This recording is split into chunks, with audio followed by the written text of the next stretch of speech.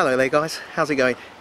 I'm not on the bank today, I'm not out fishing a lake or indeed a river as it is clo the close season in the UK on the rivers. Not for much longer though, a few more weeks and the rivers will be open and we can, us river anglers can all get out there and be wandering along the bank hoping to tempt a few fish, perhaps some barbel and chub out from the waterways. But today what I'm doing is going to be showing you how to make these. These are what I appropriately nicknamed the Boddington Bobbers. Now the reason for that is because it uses an item a, from a tin of Boddingtons. You can probably hear it there. And that is one of these. And that is a widget or an aerator. This particular item, once you open your tin of bitter or lager or Guinness, um, different item in the Guinness. The Guinness widgets are like a round kind of ping pong ball. But when you open your tin, it aerates your lager or in this case bitter and puts a nice frothy head on it to give that kind of draft appearance. So that's what I'm going to be showing you today is how I use that to make these. Now these are only a rough and ready float, they're cheap and cheerful, not going to cost much to make and as is the case I'm no master float creator so as I say bear with me just cheap and cheerful.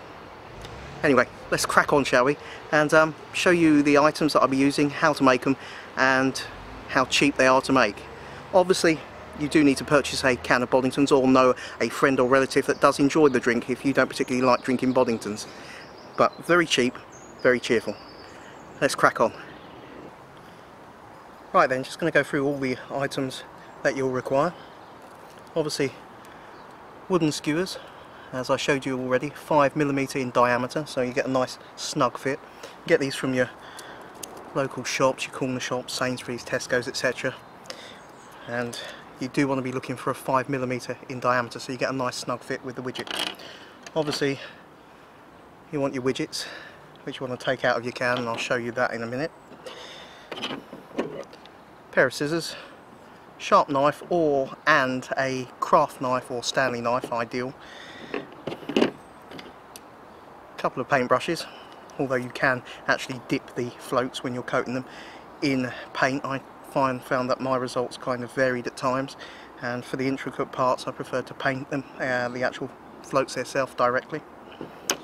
Going through the paint that I'm using, as you've seen on my video when I was using the floats, they are bright orange. Now this is PlastiKote Project Paint, it's a enamel paint, very nice, dries very well, gives a good glossy finish and a very robust finish as well. Now unfortunately I can't seem to get hold of this anymore. This costs around about £2.99 at the time. And I can't seem to get PlastiKote Tangerine Orange as it's known as you can see there. And I can't seem to get hold of that anymore. So the closest that you can get to it that I've noticed as PlastiKote don't make that particular one anymore is by Humbrol and Humbrol do an enamel in a tangerine colour. Now I've got another tin with me today of Humbrol so that's so if I want to make a red tip and a orange body you can do. Obviously if you're keeping the price down as much as possible stick like I did to just the one colour which is the tangerine orange. That way you're not having to purchase any more pots of paint. But as I say I've also got a little tin of Humbrol as well and that's in a gloss lipstick rouge or lipstick red. And so if you want to paint the tip of your float red and the body orange you can do. It just breaks up the colour a bit on the surface of the water. A little bit of clear varnish. Now you don't have to varnish the uh, float body once you've painted the tip and the, of the float and the body if you don't want to, if you want to save a bit of money. Um, I found on the first set of floats that I made they've been absolutely fine but if you want it to be more robust then I would definitely use some polyurethane on it or coat it with a little bit of varnish obviously you are going to be using varnish on the stem of the float. That's what I will stress now because obviously you want it to be fairly robust and water resistant for that side of things I am going to be using a light waterproof wood stain in varnish which is uh, what you'd use on your normal furniture for your garden furniture. Very cheap very cheerful. Moving on. Cornish thread. Now that is not necessary on this occasion if I didn't want to use it. That's if you was going to whip on a eye or run ring on the bottom of the float. Now for that side of things I would certainly recommend if you're going to put a ring on the bottom of the float that you if you're trying to keep the cost down you can use the hinge from a safety pin you just clip the wire and you're left with that nice ring on the back of the safety pin and you can use that or you can purchase what's known as uh, art wire or florist wire. Get around about 50 meters for two pound two pound 50 and bearing in mind if you're making a run ring at the bottom of your float 50 meters is going to last you a lifetime. But what I tend to use even though this particular float here has got a little run ring at the bottom which was made using a little bit of fuse wire even though that is the case most of the time I just prefer to use float rubbers which is what you will have seen me using on my video when I was using the Boddington bobbers. Um, moving on from that 120 grit sandpaper. You can use finer. That's just to round the ends off of the float and give them a nice shape. A little bit of super glue. The idea of that is just to use a very small amount when you're if you're whipping on or even placing the body in place although you won't need them if you won't need the glue if you're using the 5 millimeter skewers because they give a snug fit without needing it. But if you are deciding to whip on a line guide on the bottom of the float then a little bit of this just as you finish off whipping on the thread just allows it to hold in place and just strengthens it. But that's only a slight droplet that you're putting on a very small droplet and then finishing off the whipping with varnish. So I think that's covered about everything. Um, yeah, I'm going to now crack on and um, put this together. I must be honest, I am going to consume that tasty looking glass of Boddingtons before I do the rest of the video.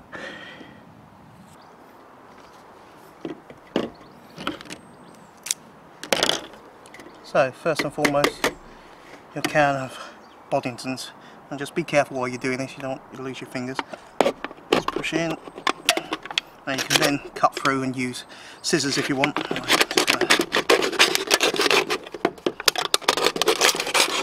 Cut all the way around with the uh, knife.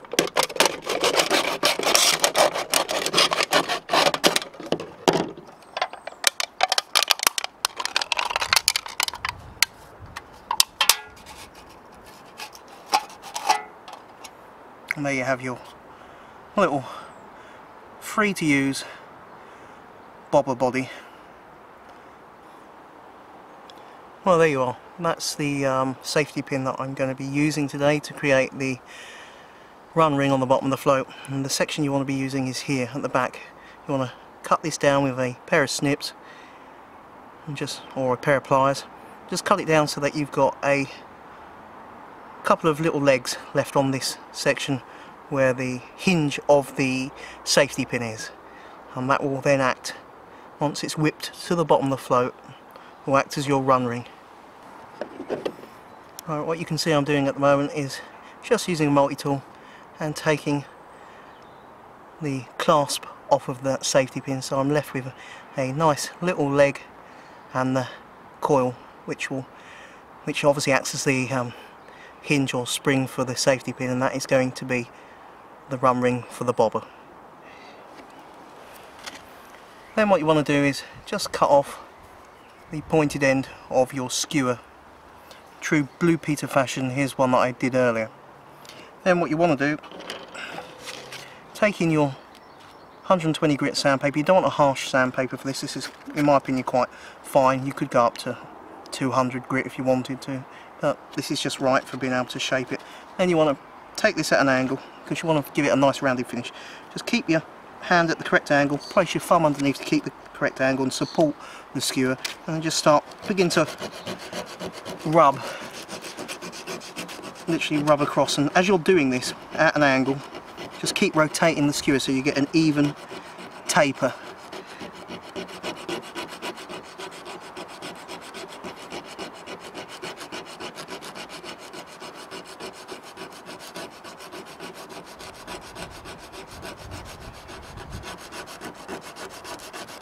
So as you will have seen on my other video when I was using the bobbers, they've got just straight edge to the to the top of them and they're quite, as I said previously, rough and ready would sum them up. This just gives it a gives you a nice taper to both ends.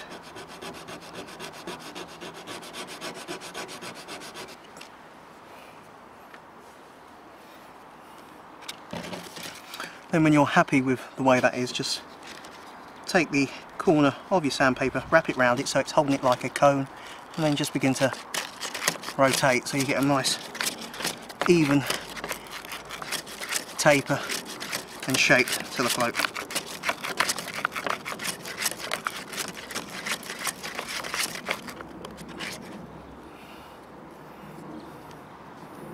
Like so. You can see that's coming on, but obviously as you're doing it just keep an eye it is even.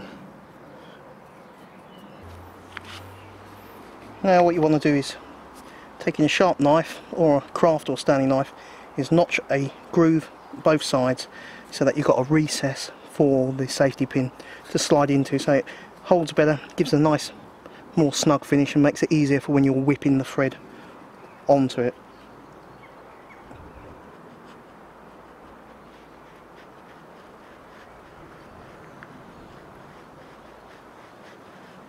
And what you want to do is just slide that safety pin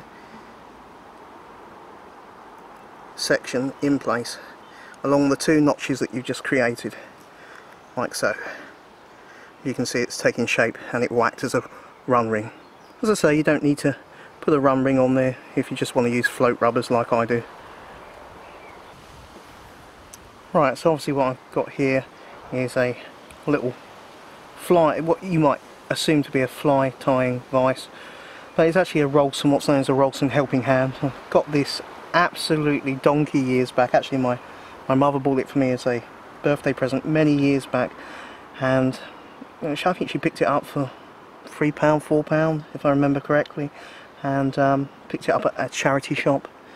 Very useful device. You've got a magnifying glass there as well. Um, if you haven't got something similar like this because this is what I'm going to be using to hold stem of the float in place as I whip the Cornish thread round the line guide. Just gives me stability. But if you haven't got something like that you could quite easily use a, a pair of uh, monkey grips set to the right tension and clamp it on the edge of a table or a piece of wood. Even a couple of strong clothes line or clothes pegs that you hang your washing out with would do the job as well certainly would suffice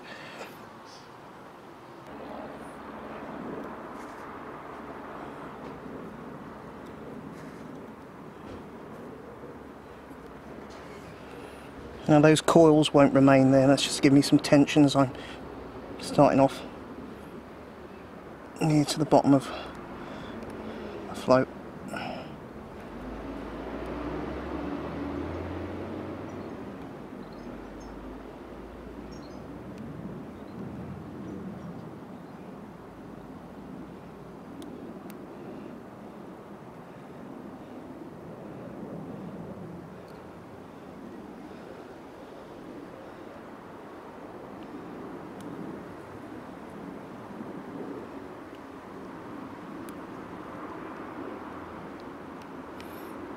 Remember to keep your coils and your whippings all neat. Make sure they're married up next to the previous one and if not just snug them up by putting your thumb your left thumb in place here. Or if you're right-handed your right thumb. And just keeps the run ring in place and then just push the whippings down so that they meet up nicely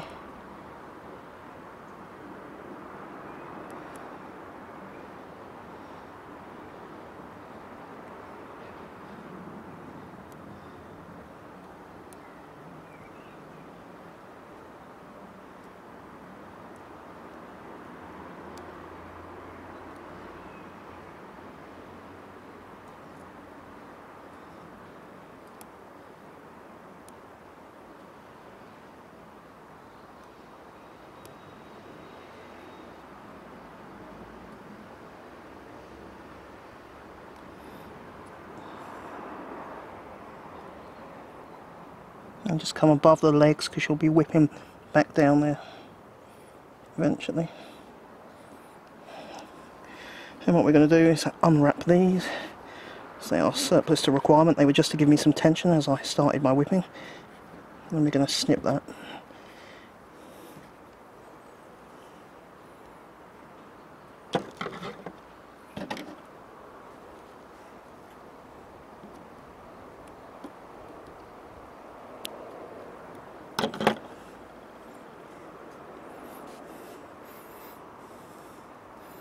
and carry on whipping.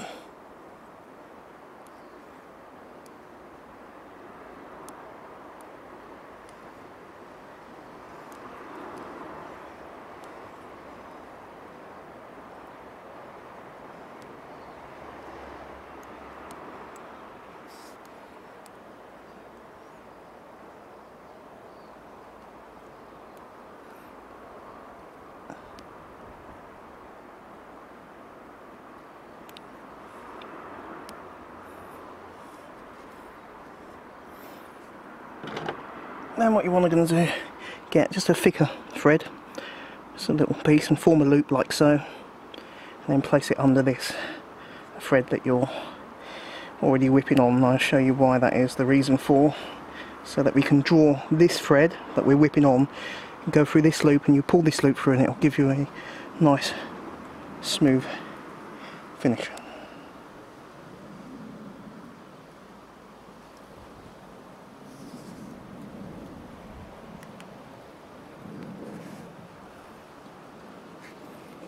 pull that down a little bit.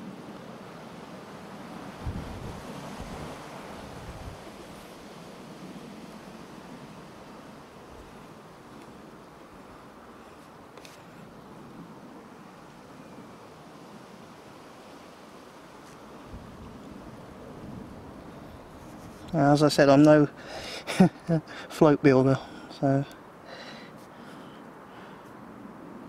I'm sure based on talent and ability in general and how many how often you get into making your floats you will find your actual quality like anything improves as you learn and your experience increases.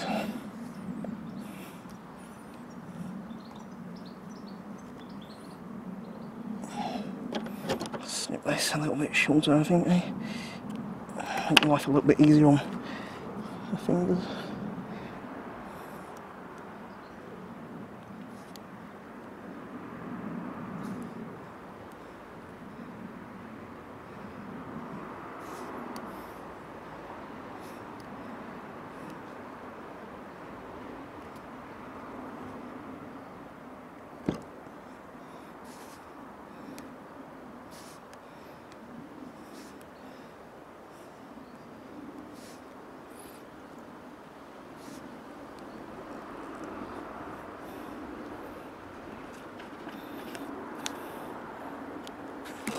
Just want to cut that now.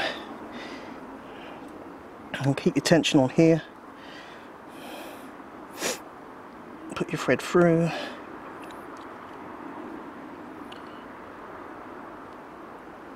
Like so. Just say keep your tension. Carry on with that and just pull it through.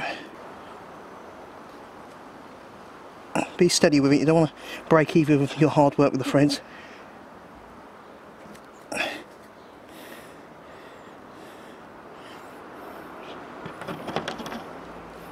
And just snip the remainder. Like so. Now you can take it you can take that a bit shorter if you use a sharp Stanley knife or a sharp knife. Then what I'm going to do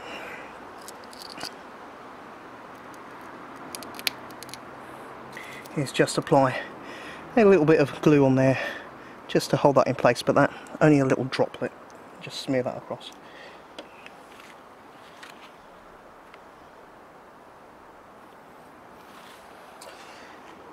Now that we've finished off with the whipping I'm going to apply just a little droplet of glue here super glue just to hold that in place and then finish all this off with wood stain varnish so then, now that we've got the whipping finished and pulled that last little bit of whipping back through using the loop of thicker thread, I'm just going to apply a single drop of glue just to finish off that area and just hold the end of the knot. Ah, smear it, I will smear this across.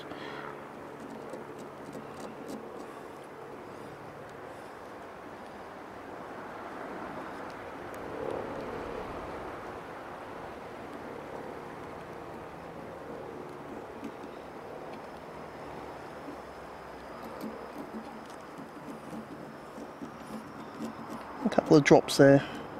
That'll just lock all that thread in place. Now this is a polyurethane based wood preservative and um, this is what you would use on your, your garden furniture etc. Antique pine, it's a nice staining and it's touch dry within half an hour which is always useful when you're working with wood products to be able to crack on put another coat on if need be. But that's what I'm going to be using for the stem of the float. And you can if you want to you can finish off on top with a lacquer. But I'm not going to be. I'm trying to keep the price as cheap and cheerful as possible. Right then now what we're going to do is thread the skewer onto the widget. Obviously adjusting the amount of tip that you want showing to whatever your preference is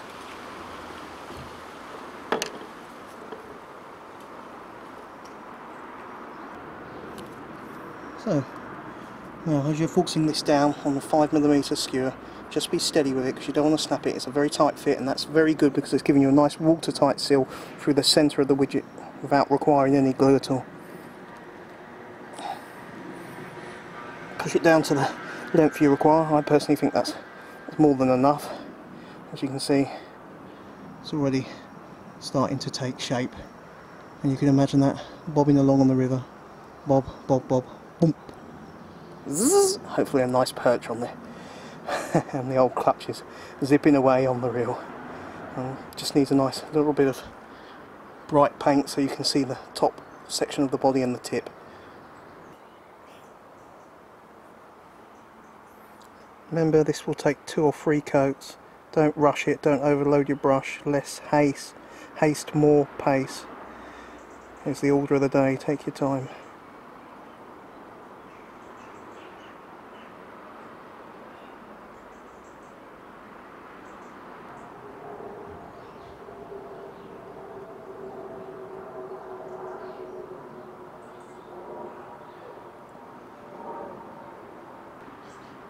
Well, that's the second coat of PlastiKote paint. I'm just leaving it in the vise, upside down. So if there are any drips, drops to go, come off of it, which there shouldn't be, they'll just fall onto the magazine. Now, if you haven't got a hobby vise like this, you can just use your clothesline pegs to hang your floats upside down and leave them to dry. Just applying that Humbrol Ferrari Red gloss enamel paint to the tip. Give a nice break up in colour there and bite registration and indication. Orange body nice and visual. Red tip.